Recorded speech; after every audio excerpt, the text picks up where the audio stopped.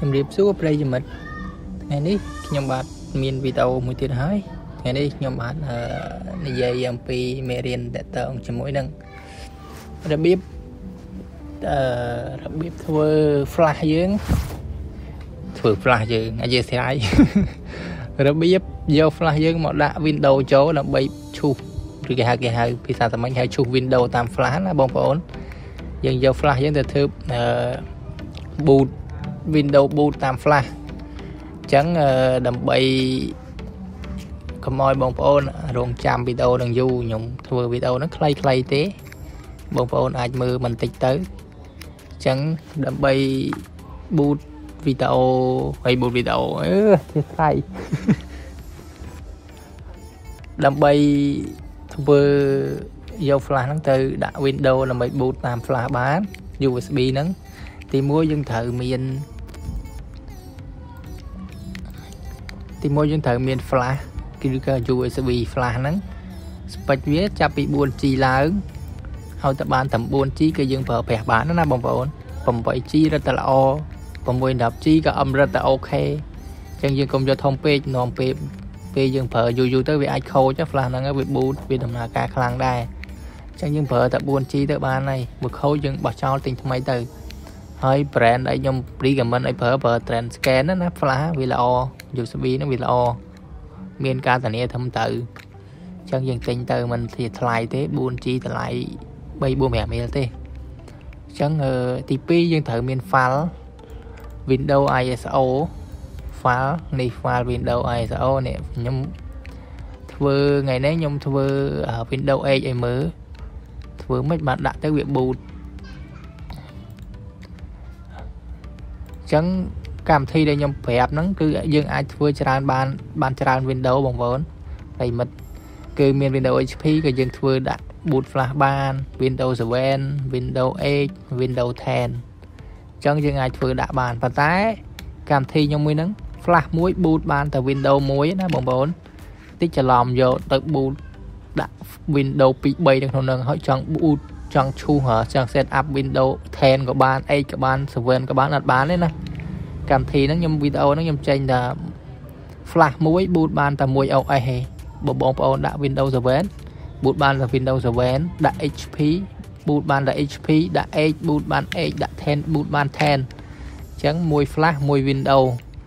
ហើយបើចង់បានអាមួយ flash ច្រើន Windows ចាំខ្ញុំរកកម្មវិធីហើយខ្ញុំធ្វើវីដេអូមកម្ដងទៀតអញ្ចឹងវីដេអូលើកហ្នឹងមានតែប៉ុណ្្នឹងទេហើយទី3ទី3 ទី3យើងត្រូវតឡើងកម្មវិធីនេះមួយកម្មវិធី Power ISO នេះបងប្អូនកម្មវិធីនេះនេះកម្មវិធី Power ISO នេះហើយកុំភ័យរឿង software ហ្នឹងខ្ញុំនឹងដាក់ link download វីដេអូនៅខាងក្រោមវីដេអូអី link download វីដេអូខលរហូតដល់ជាស្រ័យហ្នឹង link សម្រាប់ download software ហ្នឹងនេះខ្ញុំ upload ចូលក្នុង Google Google Drive របស់ខ្ញុំខ្ញុំ share link ឲ្យបងប្អូន download មិនភ័យទេគឺ full តែម្ដង ហើយទី4គឺយើងបើកកម្មវិធី Power ISO ហ្នឹងប្រើតែម្ដងអញ្ចឹងតោះបងប្អូនដើម្បីកុំឲ្យខាត់ពេលយូរទៅទេសនាទាំងអស់គ្នានិយាយស្នៃខុសតោះ step ទី1យើងយើងដោត flash យើងចូលកុំព្យូទ័រហើយយើងមិនបាច់ខ្វល់ទេណាបងប្អូនយើងត្រូវដោត flash យើងចូលដោត USB ចូលទៅក្នុងកុំព្យូទ័រ lock អញ្ចឹងបន្ទាប់ពីដោតចូលទៅហើយនេះ flash របស់ខ្ញុំអានេះដោយសារតែខ្ញុំធ្លាប់ធ្លាប់ធ្វើ boot ម្ដងអញ្ចឹងវាចេញ flash ខ្ញុំវាអត់ចេញឈ្មោះខ្ញុំហើយវាចេញឈ្មោះ file របស់ Windows នៅហ្នឹងហ្មងអញ្ចឹងទោះ file ទោះទោះជា USB flash របស់យើងមាន Windows ស្រាប់ឬក៏មិនមាន Windows ស្រាប់យើងកុំខ្វល់ឥឡូវយើងធ្វើថ្មីយល់ទេបងប្អូនខ្ញុំបរៀនធ្វើថ្មី ឲ្យវា boot ចេញពី flash ហ្នឹងយើងមិនបាច់ format ទេទុកចោលឯកសារអីបើយើងមានឯកសារនៅក្នុង flash យើង copy ចេញប្រយ័ត្នបាត់បើយើងអត់មានឯកសារសំខាន់ក្នុង flash ទេយើង format ចោលទៅអញ្ចឹងយើងមិនបាច់ format ទៅទៀតយើងវា format automatic ឲ្យយើងហើយអញ្ចឹងពេលយើងដោត flash មកវាស្គាល់ flash ណាបងប្អូននេះ USB នេះហើយងាយស្រួលមើលឯងបើយើងកុំឲ្យច្រឡំថាតិចគេដោតស្អីផ្សេងនៅនឹងគេបន្លំភ្នែកយើងយើងងាយស្រួលមើលឯងខាងលើនេះវាប្រាប់ហ่า hard disk drive អានេះមានន័យថារបស់ computer ឬក៏របស់ laptop របស់ desktop អីហ្នឹងគឺវាសូនៅលើហ្នឹងខាងក្រោមនោះវាប្រាប់ថា device with removable storage នេះមានន័យថាអាចជា external សូនៅហ្នឹងឬក៏ជា USB flash ឬក៏ជា card reader វាសូនៅហ្នឹងទាំងអស់អញ្ចឹងងាយស្រួលមើលណាបងប្អូនអញ្ចឹងយើងបិទចោលដោត flash ចូលចូលកុំព្យូទ័រហើយឥឡូវយើងបើក ហើយយើងមាន flash យើងដោតចូលហើយណាបងប្អូនទី1ហើយទី2យើងត្រូវមាន file file យើងមានហើយនេះអញ្ចឹងទី3យើងទៅឡើងកម្មវិធី Power ISO យើងដំឡើងមក double click មក yes install next វាតម្រូវឲ្យយើង reboot reboot មានន័យថា restart computer បងប្អូនអញ្ចឹង ខ្ញុំអត់ reboot ខ្ញុំអត់ reboot ខកទៀតខ្ញុំអត់ restart computer ខ្ញុំទេព្រោះខ្ញុំខ្ញុំថត screen ណាខ្ញុំថត screen ហ្នឹងអញ្ចឹងខ្ញុំអត់ restart ទេខ្ញុំ cancel ប៉ុន្តែបងប្អូនពេលបងប្អូន set up ប្រិមិត្តទាំងអស់ត្រូវចុច OK restart computer ណាមិនភ័យទេ restart ទៅខ្ញុំចុច cancel ខ្ញុំអត់ restart ទេហើយខ្ញុំបើកកម្មវិធីនឹងមកនេះឃើញហើយវាទៀមទាយើង register នេះ thank you for try trying power ISO ពេលនេះថាយើងព្យាយាមប្រើប្រាស់របស់វាអញ្ចឹងយើងចុចកន្លែងនេះមកនេះ enter registration code ចុចចឹងមកហើយនេះ serial key នេះយើង copy ខាងលើនេះយក copy តាមតាម username នេះមកនេះ username នេះកន្លែងនេះយើងបាច់យកឯងគេគាត់ទៅប្រយ័ត្នឯង copy តាមហ្នឹងមកនេះផាសមក serial យកតាមនេះមកពីមុខចុច2ហ្នឹងមក copy ផាសអូជាស្គាយបានមួយមួយណាអញ្ចឹង copy ម្ដងមក5តួម្ដង5តួមកដាក់មក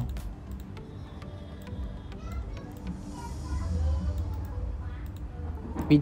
របៀបប្រើកម្មវិធីហ្នឹងគឺបងប្អូនមិនបាច់ភ័យថាធ្វើទៅមិនដើរធ្វើទៅមិនប៊ូតធ្វើទៅមិនអីទេមិនភ័យណាបងប្អូនខ្ញុំតេស្តហើយ តេស្តប៊ូត10ដងដើរទាំង10ដងខ្ញុំ reformat ខ្ញុំធ្វើថ្មីខ្ញុំ format ខ្ញុំធ្វើថ្មី10ដងដើរទាំង10ដងហើយតែមើលវីដេអូខ្ញុំមិនធានាមកដើរអញ្ចឹងខ្ញុំអូខេណាយើងបំពេញសេរីហើយយើងអូខេមកវាវាថា thank you for your registration មានន័យថាវាអរគុណយើងសម្រាប់ការយើងអឺ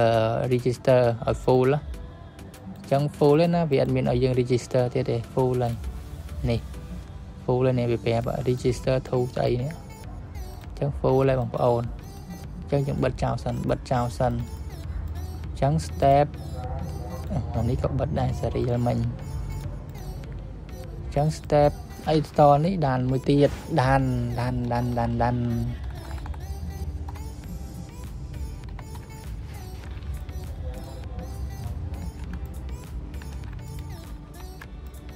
ចឹងរបៀបធ្វើម្ដង របៀបធ្វើឲ្យវា boot ទៅតាម flash បញ្ចូល Windows មានថាយើងយើង copy Windows យើងចូលទៅក្នុង flash ទៅធ្វើមិនពេលដែលយើងឈូស Windows យក flash យើងទៅ set up Windows ដោតបាច់ជ្រើសរើស flash ពី boot មកវាចូលទៅ win ចូលទៅតាម flash អញ្ចឹងណាឈូសគេហៅឈូស Windows ឈូស Windows ហ្នឹងតែពិតភាសាសាមញ្ញគេហៅអឺភាសាសាមញ្ញភាសាបច្ចេកទេសគេហៅ set up Windows ថ្មីមិនមែនឈូសឈូសទេបងប្អូន set up Windows ថ្មី ហើយថា Windows ចាស់យើងវាអាចមាន virus វាគៀងវាក្បាត់ file បាត់អីវាបាក់ប្រើវាដល់យឺតបានជាគេតម្រូវឈូសអីឈូសទម្លាប់មកដែរណាបងប្អូនបានជាយើងជិះត្រូវ set up Windows ថ្មីតែពិត Windows Windows គ្នាទេមិន set up ក៏បានសំខាន់យើងចេះប្រើចេះថែអាសាវាចេះ maintenance វាចេះ clear file ណាម្ដងមិនប្រើចេះទុកដាក់ឯកសារត្រឹមត្រូវវាមិន slow ទេកុំព្យូទ័របងប្អូនជឿខ្ញុំអញ្ចឹងអានេះគ្រាន់តែប្រាប់របៀបទេអញ្ចឹងតោះយ៉ាង create និយាយច្រើនពេកនាំអាសាមអីតោះបងប្អូនបើកម្មវិធីទាំងមកអូខេអត់បើកចឹងទេជាស្នាយបងប្អូនខ្ញុំសូមបិទវិញកម្មវិធីហ្នឹងនៅពេលដែលយើងប្រើនៅពេលដែលយើងប្រើណាបងប្អូនយើងអត់ចុច2ដងចឹងទេចុច2ចុច2ដងចឹងយើងមកយកមកប្រើ boot flash យើងអត់ចេញទេណា យើងត្រូវយើងត្រូវចុចលើវាហើយយើងម៉ៅស្ដាំចុចលើវាអញ្ចឹងហើយយើងចុចម៉ៅស្ដាំយើងយក run as administrator អាហ្នឹងបានយើងមានសិទ្ធ full ប្រើលើ software ហ្នឹងតែម្ដងប្រើលើកម្មវិធីហ្នឹងតទៅពីចេញប៉ុណ្ណឹងហើយ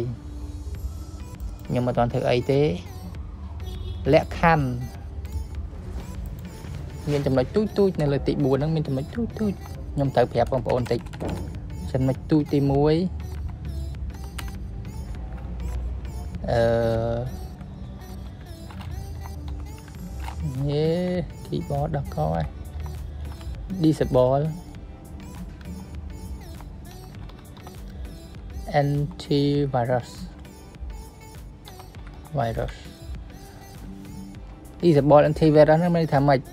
មានន័យថាយើងត្រូវបិទកម្មវិធីមិនមែនបិទមិន remove ណាបងប្អូនគ្រាន់តែ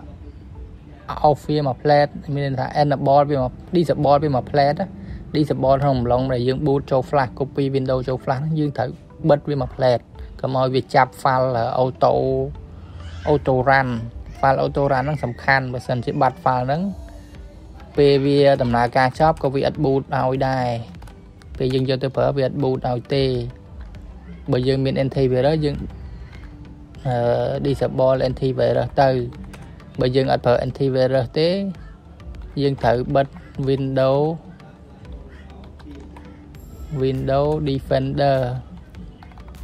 និងកម្មវិធីកម្ចាត់កម្មវិធីកម្ចាត់មេរោគរបស់ Windows ហ្នឹងណាយើងចង់ដឹងថាកុំព្យូទ័រយើងប្រើមេកម្មវិធីកម្ចាត់មេរោគអត់យើងមើលនៅនេះមកនេះពីច្រើនវាអូតូ អូតូ start នៅនេះឲ្យពេលបើកកម្មវិធីបើក Windows មកកម្មវិធីកម្ចាត់មេរោគគឺវាអូតូ run ហើយអញ្ចឹងយើងបើកមើលនេះទៅនេះមើលកម្មវិធីចឹងអត់មានកម្មវិធីកម្ចាត់មេរោគទេកុំព្យូទ័រខ្ញុំបើបងប្អូនមានបងប្អូនត្រូវបិទកម្មវិធីកម្ចាត់មេរោគខ្ញុំបើកពុកកញ្ចក់តិចមានអ្វីខ្លះមាន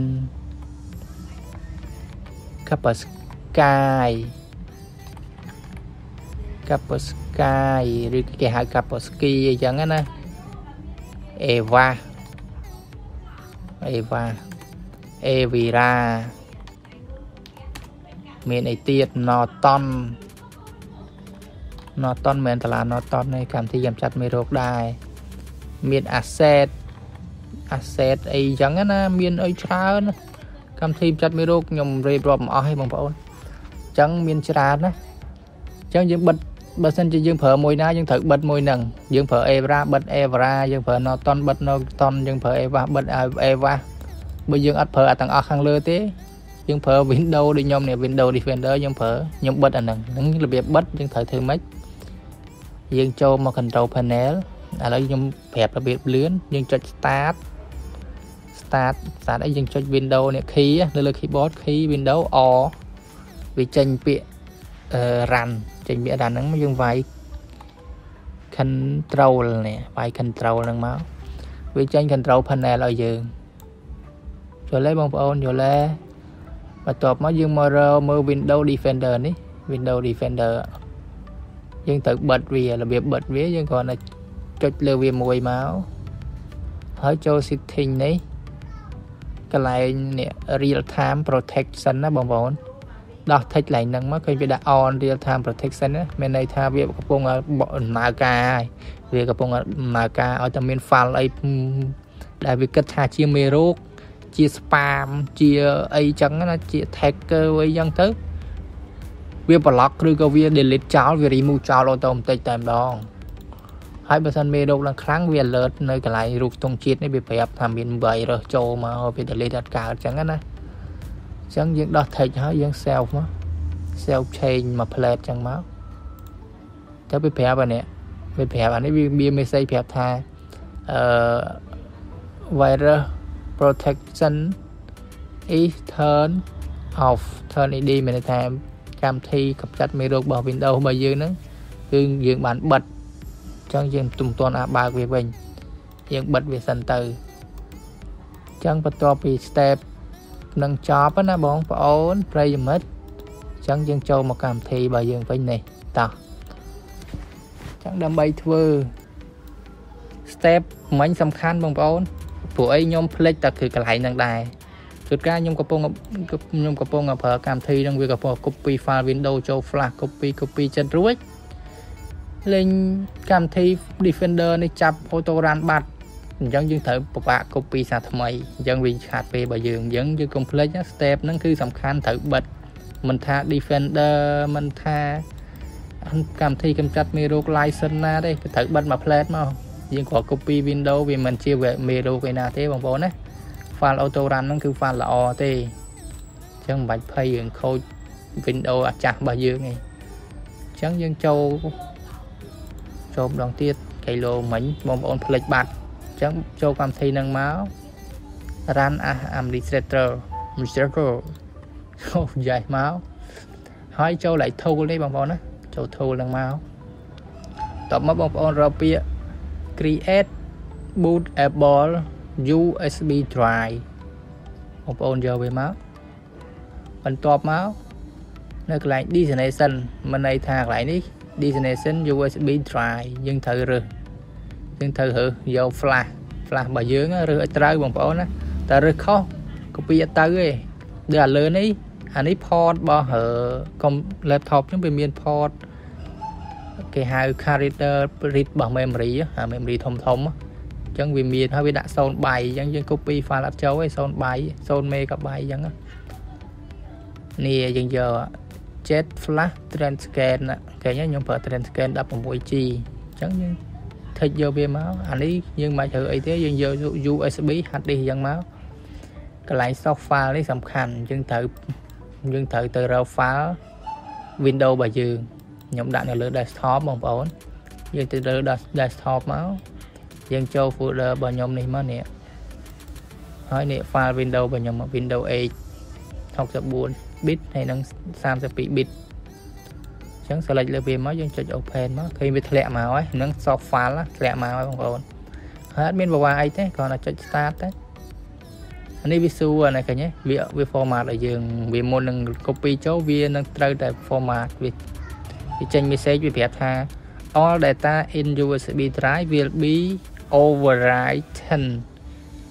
do you want to continue មានន័យថា វានឹងលុបអា data ចាស់ចាស់ចោលហើយ វានឹង copy Windows នេះ file Windows នឹងចូលទៅហើយអញ្ចឹងបើយើងយើងឥឡូវយើងធ្វើហើយយើងយក cancel អត់ត្រូវអញ្ចឹងយើងយក OK មកណាបងប្អូនកន្លែងហ្នឹង OK មកហើយមុននឹង OK កន្លែងហ្នឹងទៅ copy ឯកសារចេញបើមានឯកសារសំខាន់នៅក្នុង flash អញ្ចឹងអត់មានទេយើង OK មកនេះរងចាំវាដំណើរការចប់ទៅ ហើយខ្ញុំអត់កាត់ទេវីដេអូហ្នឹងខ្ញុំឲ្យវាដំណើរការឡើងនឹងឲ្យដល់ចប់ហ្មងដើម្បីឲ្យបងប្អូនមើលប្រិមិត្តមើលកុំឲ្យមានចម្ងល់ព្រោះគ្រប់ Windows គឺកម្មវិធីខ្លះវារើសឧទាហរណ៍ថា Win to Flash អីចឹងទៅខ្ញុំឧទាហរណ៍ណាព្រោះខ្ញុំអត់ទៅប្រើកម្មវិធីហ្នឹងមើលវាញ៉ៃញ៉ៃកម្មវិធីនេះគឺ professional ហ្មងបងប្អូន គឺធ្វើចូល flash 10ដើរទាំង10ប៉ុន្តែបងប្អូនភ្លេចបិទកម្មវិធីកម្ចាត់មេរោគ ធ្វើទាំង10អត់ដើរទាំង10ហ៎បងប្អូនខ្ញុំបងប្អូនប្រយ័ត្នប្រយែង step សំខាន់ជាងគេគឺបិទកម្មវិធីកម្ចាត់មេរោគបិទវាមួយផ្លែទៅហើយជាតុង5នាទី10នាទីអីយើងធ្វើហើយហើយអញ្ចឹងបងប្អូនរងចាំតិចណាបងប្អូនហើយ Windows និយាយទៅមិនមែនតែ4 Windows ខ្ញុំប្រាប់ហ្នឹងណាបងប្អូនមិនមែនតែ4ហ្នឹងទេ បងប្អូន boot តាម boot តាមអីបងប្អូនយក Windows Windows Server 2003 Server 2020 Server 2012 Server Windows Server 2016 19អីបងប្អូនយកមកដាក់គឺ boot បានទាំងអស់អូខេ100%នឹងចំពោះ Windows ប៉ុន្តែចំពោះ MacBook MacBook ខ្ញុំអត់ដែរប្រើទេ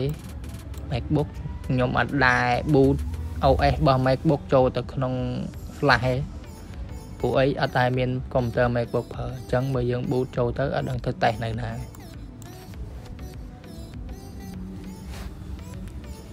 ចឹងនេះទៅចំពោះ MacBook អាហាជាថ្លៃចំពោះ Windows ហើយចំពោះ Linux ក៏ខ្ញុំមិនដែរបានធ្វើតេស្តដែរបងប្អូនប៉ុន្តែចំពោះ Linux មើលទៅដូចជាសាមញ្ញស្តៀង Windows ដែរទេបងប្អូនអាចធ្វើតេស្តជាមួយ Linux បានណាបងប្អូនដូច Ubuntu ដូច ZenOS Red Hat SUSE SUSE ហ្នឹង OS Linux ដែរមិនមែន sushi អាហារជប៉ុនទេណាបងប្អូនឈ្មោះវាទៅគ្នាគេដាក់ឈ្មោះ sushi san san san su release អីគេនេះវា brand វាតកោឲ្យជាមួយគ្នាអញ្ចឹងណាអាហ្នឹងខាងប្រទេសជប៉ុន គេអ្នកយក open source របស់ Linux ហ្នឹងទៅទៅ edit code ទៅកែ code ឲ្យចេញជា OS របស់គេមួយដែរអឺ Sushi ហ្នឹង OS របស់ពួកខាងជប៉ុនហ្នឹងហើយប៉ុន្តែគេប្រើ open source ដែរទេពួកខាងប្រទេសជប៉ុនគេនិស្សិតជប៉ុនគេអ្នកយកទៅស្រាវជ្រាវបន្ថែម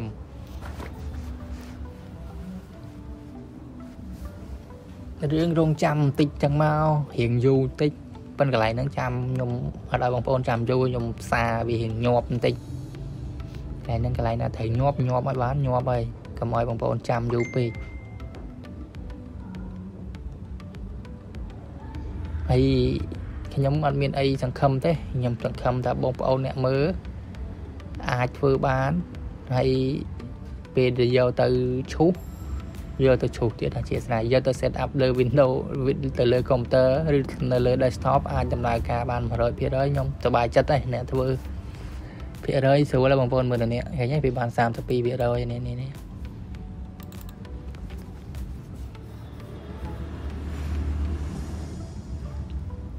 ចឹងនៅនេះឃើញវាប្រាប់ហ្នឹងបងប្អូនវាប្រាប់ message ទៀតនេះអានេះ link link ចុចទៅមើលរបៀបប្រើ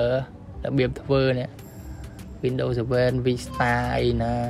Windows HP Bulletball ឯណានេះវាប្រាប់បាច់ខ្វល់ទេបងប្អូនធ្វើទៅតាមខ្ញុំចង់ Windows ប្រភេទណាក៏ដើរដែរខ្ញុំតេស្តឲ្យអស់ហើយបងប្អូន ហើយប្រិមិត្តដែលបានចូលមកមើលប្រិមិត្តថ្មីថ្មីកុំភ្លេចជួយ Subscribe Channel ខ្ញុំម្នាក់មួយមកហើយជួយដាក់រូបកណ្ដឹងផងនៅពេលដែលមានវីដេអូថ្មីនឹង alert ឲ្យបងប្អូនមើលតែម្ដងខ្ញុំនឹងព្យាយាម update ចំណេះដឹងរបស់ខ្ញុំ ទៅជាលើនៅលើវីដេអូហ្នឹងជារៀងរាល់ថ្ងៃតែម្ដង សង្ឃឹមថាបបិសោតនិងចំណេះដឹងខ្ញុំអាចជួយបងប្អូន ដែលមិនធ្លាប់ឆ្លងកាត់មិនធ្លាប់ដឹង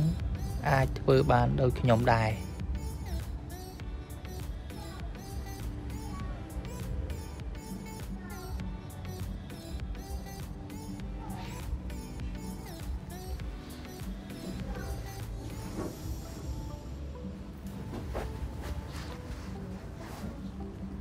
បងប្អូនបើសិនជាចង់ឲ្យខ្ញុំចេញវីដេអូអ្វីមួយអាចជួយខមមិននៅវីដេអូខាងក្រោមណាបងប្អូនឧទាហរណ៍ថា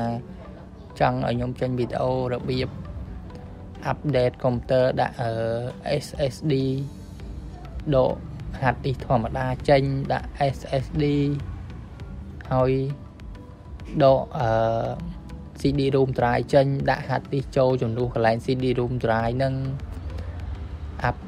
upgrade RAM ធ្វើម៉េចឲ្យវាស្គាល់មួយកុំព្យូទ័រយើងបងប្អូនអាច comment ខាងក្រោមមកបើសិនជាចង់ចេះចង់យល់ចង់ដឹង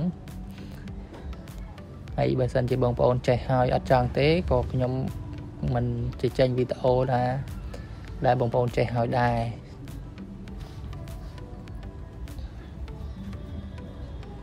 មិនថាតកតង IT មិនថាតកតងជាមួយអគិសនីមិនថាតកតងជាមួយខាង service ទេ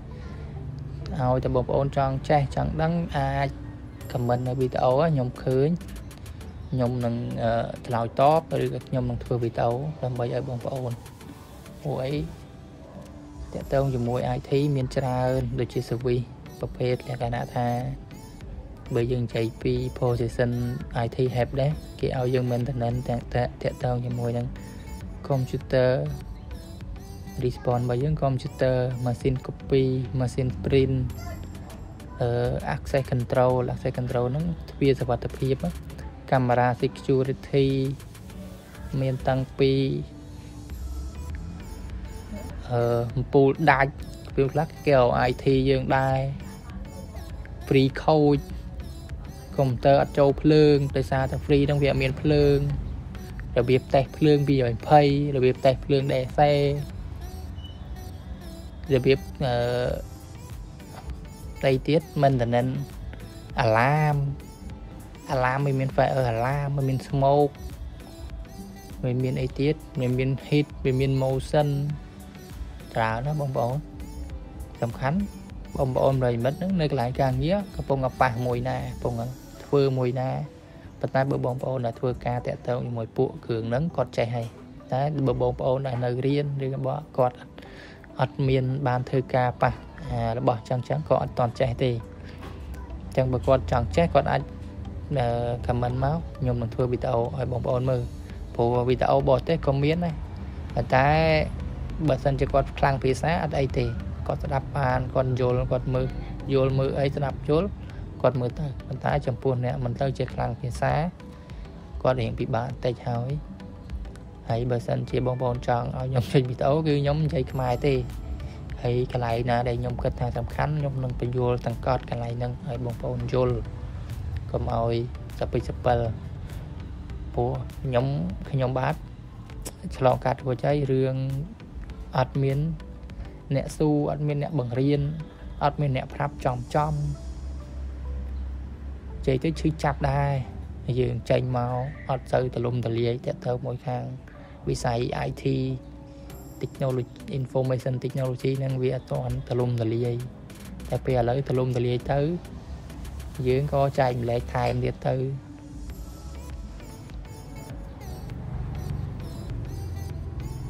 ដើម្បីឲ្យបងប្អូនគាត់ស្រួលគាត់រៀនគ្រូស្រួលរៀនស្រួលសូត្រឆាប់ចេះឆាប់យល់ឆាប់ដឹងហើយឥឡូវដូចជាមិនជាបញ្ហាទេអស់លុយទៅរៀនក្រៅទៀត បើកតាអ៊ីនធឺណិតមកចូលទៅ YouTube មិនចេះខ្វះមេរៀនសំខាន់យើងមានឧបករណ៍គ្រប់ដើម្បីរៀនអត់ឧទាហរណ៍យើងចង់ចេះ Cisco យើងត្រូវមាន router Cisco ជាក់ស្ដែងតែតែ Cisco វាជំនួយយើងត្រង់ថាมันបាច់ក៏បានដែរ router Cisco switch Cisco យើងអាចមានប្រើកម្មវិធី package tracer package tracer នឹងជួយបានច្រើនប៉ុន្តែ យើងត្រូវមាន switch មកគ្រាប់ឬ router មកគ្រាប់ខ្លួនឯងដែរពីព្រោះបើយើងអត់មានខ្លួនឯងទេយើងអត់ដឹងថារបៀប connect ពី switch